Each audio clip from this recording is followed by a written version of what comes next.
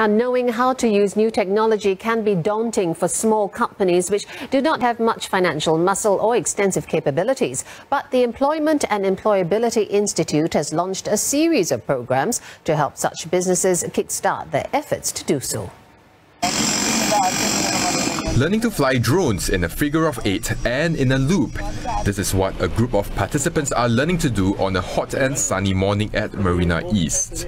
This is the first time that the Employment and Employability Institute is supporting a drones workshop as they see an increase in demand for such programs.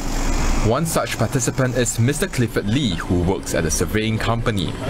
He says learning how to operate a drone will enable companies like his to offer a wider range of services for its clients.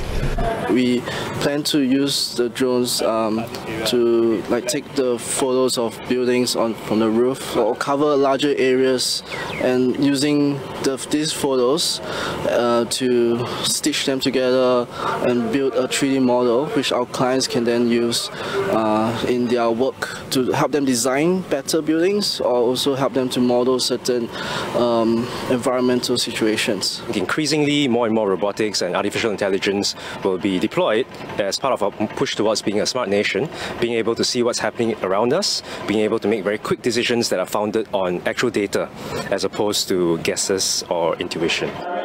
And that's exactly what 200 participants want to do. They have gathered at the Employment and Employability Institute's inaugural Robotics Day, where they are learning the basics of robotics and programming. A guide was also launched so smaller companies know where to start as they try to incorporate more of such technology in everyday processes.